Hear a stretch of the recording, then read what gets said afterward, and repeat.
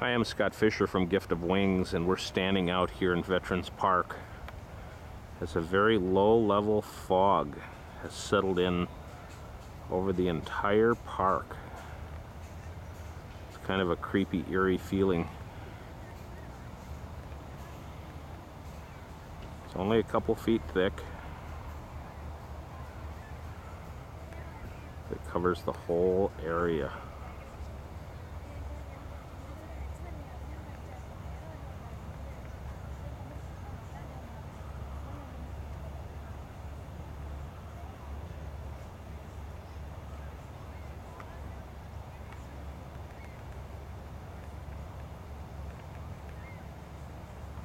For more information on kites and gift of wings, not fog, contact me, Scott Fisher, at 414-305-3145.